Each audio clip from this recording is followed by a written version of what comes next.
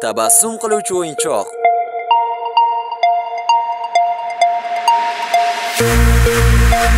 U boshqalarga ham quvonch bag'ishlaydi. O'yinchoqning har biri tabiiy jundan yasaladi. U tabassumli qilib yasalgani bois unga Smaylik deb nom qo'yilgan.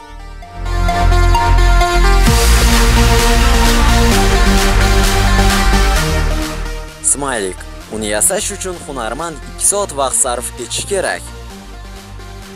Bir yildan buyon xuddi shu kasb bilan shug'ullanuvchi Shahnozaning tabiiy o'yinchoqlari janubiy koreyaliklarni ham e'tiborini tortgan. Shu sababli uning o'yinchoqlarini Koreya do'konlarida ham uchratishingiz mumkin.